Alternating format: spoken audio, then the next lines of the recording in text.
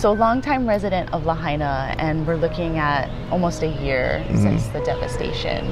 Um, can you tell me, you know, where we're at right now and kind of what you foresee happening in the future and how it's affected you? Yeah. So right now, I mean, if you drive through Lahaina, you see that a lot of the properties have been cleared, and and you know, so all of the debris are gone, and they put um, erosion control down, so it, it looks it doesn't look as bad you want to mention it's not open though. Yeah. So yeah. you can't drive through. You cannot. But some special no, people yeah. can. No, yeah. So when you're driving on the highway, you can see the residential areas. You can't really go into Front Street, or you know, you can't look at the banyan tree. You can't go down in the Baldwin House, the harbor. Everything's everything's gone. Pioneer Inn. Um, we just did a tour yesterday, mm. and everything is still not.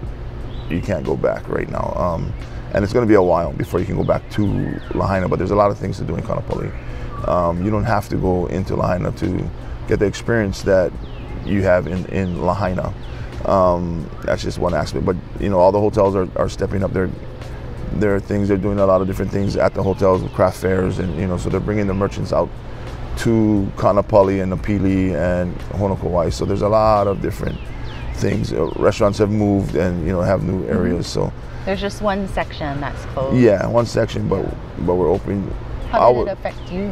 Um, in the beginning, so we lost our our home. Um, we have 56 immediate family members. So my father-in-law, um, he has five daughters, and then all the husbands and wives. There's 56 who lost their house. There was a, uh, 13 households, with either owned houses or rentals. But um, so it was, it was, it was really hard. It was really hard to deal with that and the loss and everything. You know, pictures and you know everything was gone. So um, we're coming back. And in the beginning, I was like, "Yeah, we're not ready for we're not ready for tourists, not at all." And then um, this is when we are just about to open up, and I was talking to one of my bellmen, and he said, "You know, I can't wait to come back. I really want to come." And and then I, I thought about it. I'm like, you know, we're getting all of this assistance. We're getting stuff from FEMA, and we're getting Red Cross, and churches are giving us, and we're getting gift cards. But the guys who are not even affected, they live on the other side of the island. This is their, this is their, this is where they make their money, and they're, they're not working. They're not getting help. They're not getting anything, and so they're really struggling. And that's when it kind of hit me. It's like you know, that's it's kind of being selfish of of me to say because because I'm hurting, nobody should you know, nobody. There was a lot of in the beginning. You know, why can somebody have fun when I'm not having mm. fun? And mm-hmm. that's, I think that that has changed. Um, a lot of people have changed their mind, and they really enjoy. You know, that that's our livelihood. That's what we do, and we share our culture. And um, I've the, noticed everyone seems really grateful. Yeah, you know, you they want to encourage.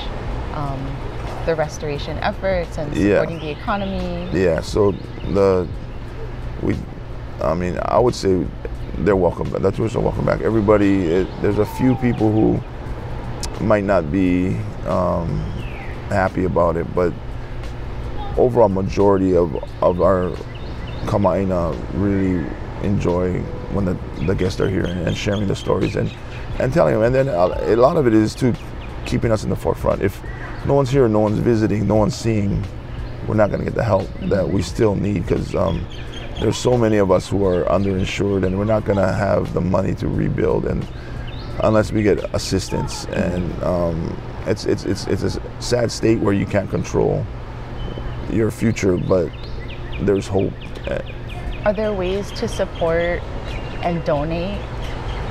There, there's a lot of different nonprofits who are, are donating and helping and um, you just got to fight the right one and, and where, where your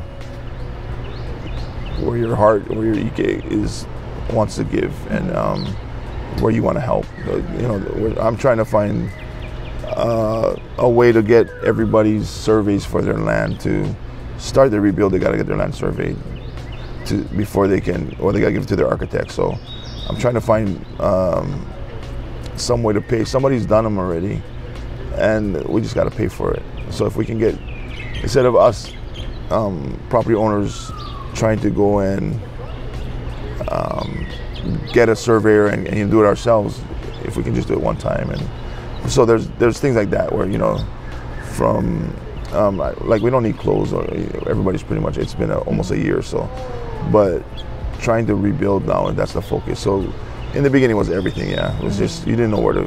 You, you needed a, a new shirt and a new, and then, and then oh, I, I moved out of the hotel, so now I need plates and, and things like that, or beds, and and now it's just basically we got to try to rebuild and how we're gonna do that. So, it's just phases, I guess. Yeah, it'll be many years. I was I grew up on Kauai, Uh-huh. so I lived through Iwa and Uh-huh. Iniki, and I think Iniki took seven years. Yeah. So you know, yeah. obviously, it's gonna be quite a while. Yeah. Well, I didn't think you would. You're old enough for Iwa. I was little. oh yeah. Uh, Uh, well, thank you so much for sharing Oh, your story welcome. and You're welcome. also your knowledge and your mana'o, and yeah. you know, you get just the word out. yeah. No, and that's that's. We just left, and we're talking uh, with my valet crew, and they're like, "Oh, is it getting busier?" And I said, "Nah, nah, not really." And then, well, what's the you know, we're talking about weather patterns and. Um, the Caribbean being a little stronger in, in their hurricane season and, and ours being a little weak, so maybe people will come over. And then one of the guys said, you know, nah, we just gotta let the our visitors know that they're welcome back, and, and that's you know, so that's a sentiment from everybody. And, and he's somebody who um, lost his, his his property also, so it's not it's not um, just the people in the tourist i- industry that want the guests to come back because they're selfish. It's it's understanding that even you know restaurants on the other side that do mostly local are still not busy because we're not there because we're not getting the income to. So it's affecting the whole island. It's not just affecting you know Lahaina or um, the people who who lost their their homes or their you know their, their town. It's affecting the everyone. In fact, the state because um, it's still Lahaina is still one of the special places that people come and visit, right?